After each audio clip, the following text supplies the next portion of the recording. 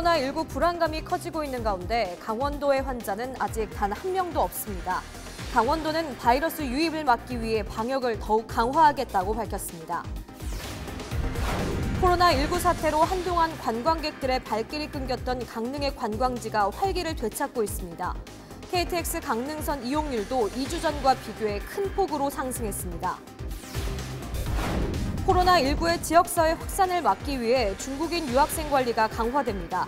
지자체도 대학과 한라인을 구축하고 공동 대응에 나서기로 했습니다. 이광재 전 지사의 출마를 놓고 민주당 내에서도 갈등이 빚어지고 있습니다. 이 전 지사는 출마에 대해 고심 중인 것으로 알려졌습니다.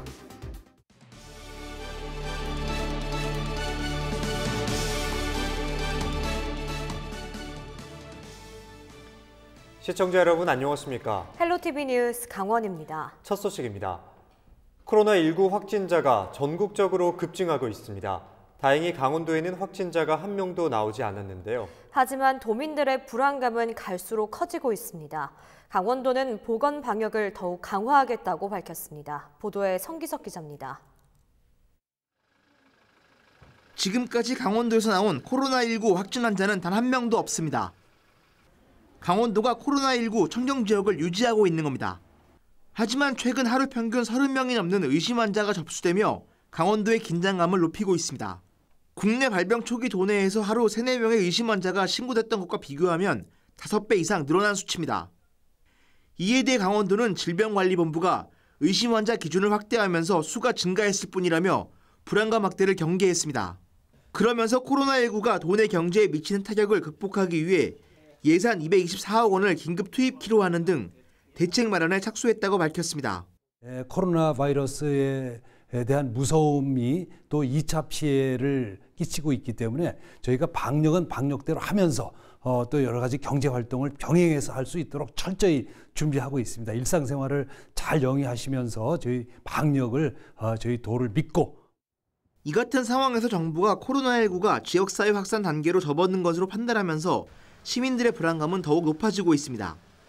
거리마다 마스크를 쓴 사람들이 가득하고 영화관과 쇼핑몰 등 다중이용업소 이용객들은 눈에 띄게 줄었습니다. 더욱이 대구 31번 확진 환자 같은 교회에서 예배를 본 신도 수십 명이 춘천과 원주, 강릉, 동해 등에 있는 것으로 알려지면서 불안감은 더욱 확산되고 있습니다. 아직까지 강원도에는 환자가 이제 없다. 안 쓰면 되지 이제. 그러나 자제해야지. 사람들이 있는데 됐으면 가지 마라. 좀 참가해라. 강원도는 지역 방어망 구축에 나섰고 국가 지정 격리 병동인 강원대병원은 여행력이 없는 유증상사를 대상으로 폐렴 만심 진료소 운영을 시작했습니다. 강원도는 앞으로도 코로나19 바이러스가 도내에 유입되지 않도록 더욱 철저히 보건 방역을 펼치겠다고 밝혔습니다. 이와 함께 전문가들은 도민들이 손 씻기와 마스크 착용 등 개인 위생 관리에 더욱 철저히 임해줄 것을 당부했습니다. 헬로TV 뉴스 성기석입니다. 코로나19 확진자가 급증하면서 지역사회의 감염을 우려하는 목소리도 높아지고 있습니다. 전문가들은 지금 상황을 어떻게 바라보고 있을까요? 홍승현 기자가 정리했습니다.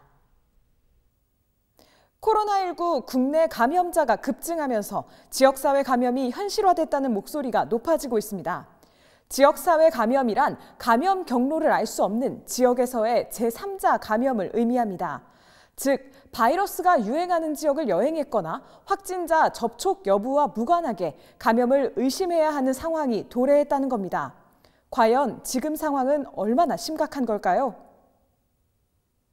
대구 사이에서 대구에서 벌어진 게 지역사회 감염이죠. 본 거죠. 지역사회 감염이 본격적으로 시작되는 모습이 보였습니다. 아니 지금은 뭐 외국에서 오는 사람들에서만 이제 있을 가능성이 있는 거잖아요. 아, 그러니까 그렇게 생각하고 있었잖아요. 네. 근데 지역 이제 누구라도 이제 그 대상이 되는 될 수 있다는 거죠. 그 의미는요. 그러니까 뭐 중국에서 안 오더라도 이미 뭐 2차, 3차 감염이 만연돼 있으면은 여행력이 없어도 그런 바이러스 그 바이러스 갖고 있을 가능성이 있다는 거죠. 즉, 지금까지는 초기에 감염자를 특정하고 접촉한 사람을 격리 조치하는 게 가능했었죠.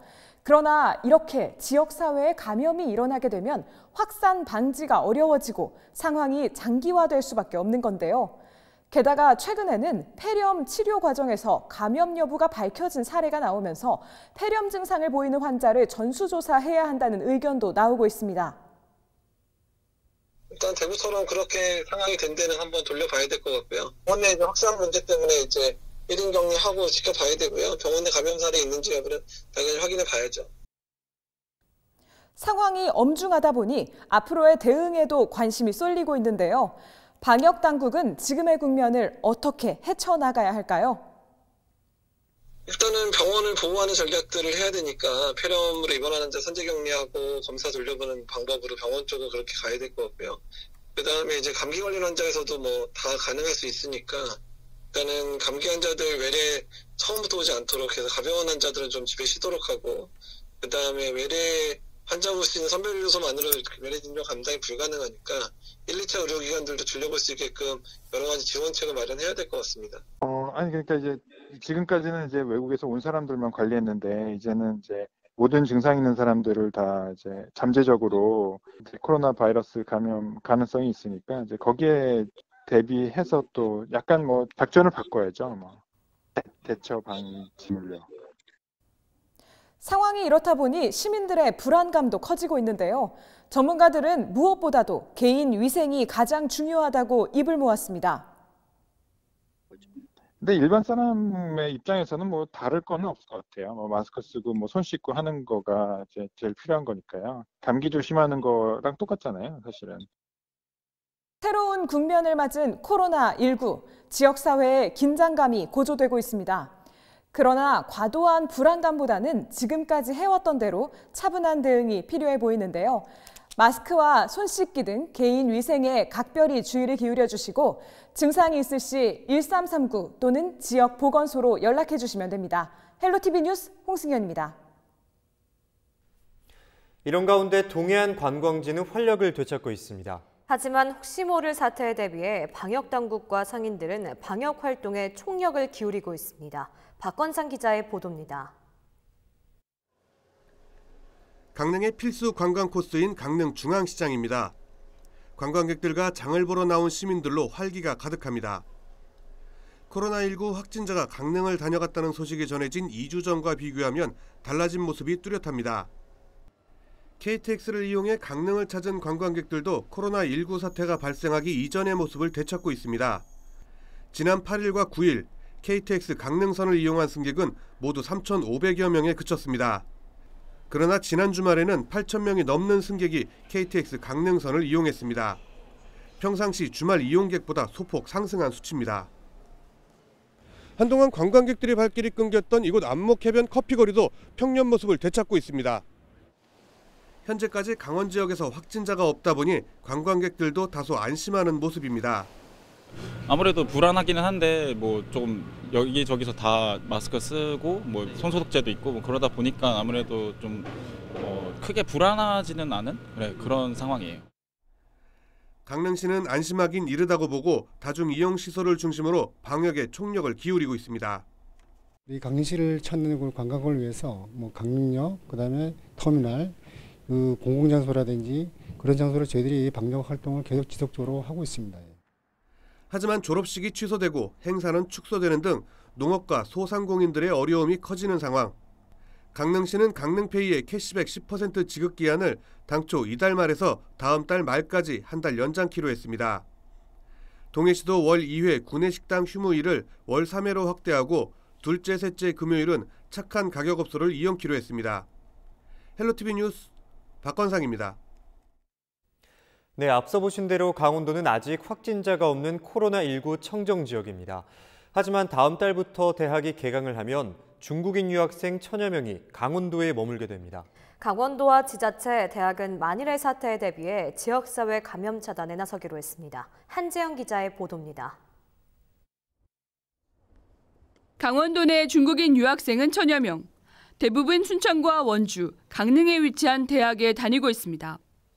코로나19 확산을 막기 위해 개강이 2주 연기돼 아직 대학 내 불안감은 크지 않습니다. 어, 약간 불안하기는 한데 그래도 그렇게 크게 걱정을 하고 있지는 않아요. 그런 분들이 있기 때문에 저희가 개강이 2주가 연기가 된 거잖아요.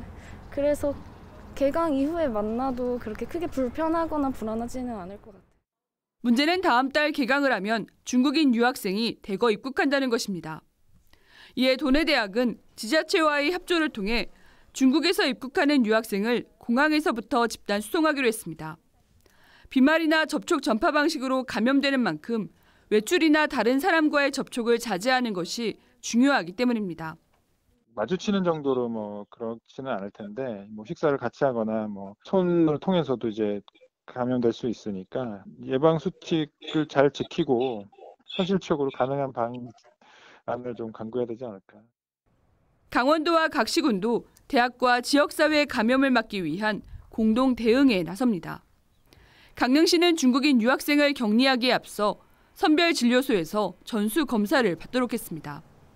자가격리의 사각지대가 발생하지 않도록 보호 조치에 불응하면 강제 조치도 취할 계획입니다. 감염병 어, 관리관한 법 42조를 적용을 해서 선별 어, 진료소를 통해서 우선 어, 진료를 해서 객담을 채취하고 또 이걸 한 이후에도 14일간 격리 조치에 들어갑니다. 이 격리 조치에 불응하면 강제 조치를 취할 수 있고요. 강제 구금이 될 수도 있습니다. 이 밖에도 도내 대학과 지자체는 유학생 대응 담당자를 지정해 하루에 한 번씩 건강 상태를 확인하고 한라인 구축으로 신속한 단계별 대응을 추진합니다.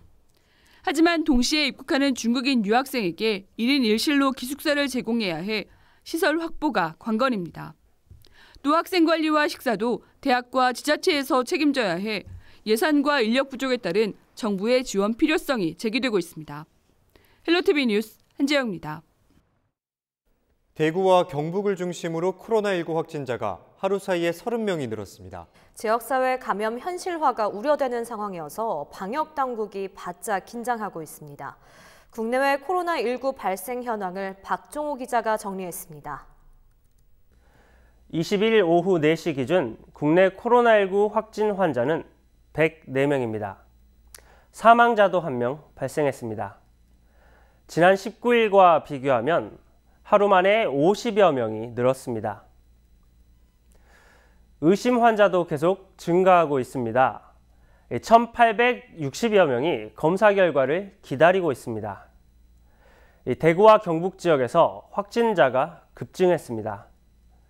31번째 환자가 다니던 교회에서만 최소 23명이 발생한 것으로 집계되면서 지역사회 감염 우려가 현실화되는 양상입니다. 다음은 국외 상황 알아보겠습니다.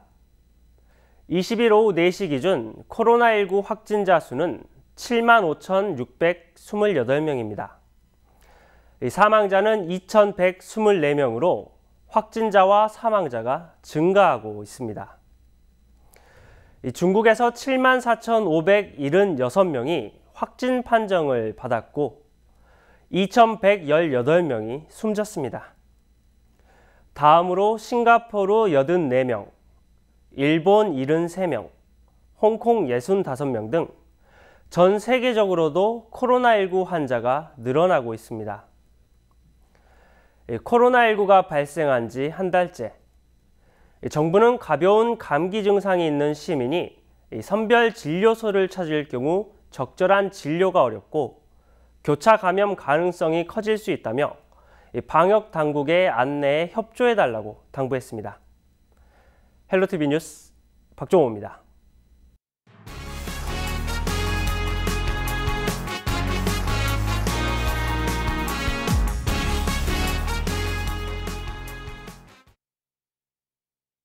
이광재 전 강원도지사를 원주시 갑 선거구에 전략 공천하는 문제를 놓고 더불어민주당 내부의 갈등이 심화되고 있습니다.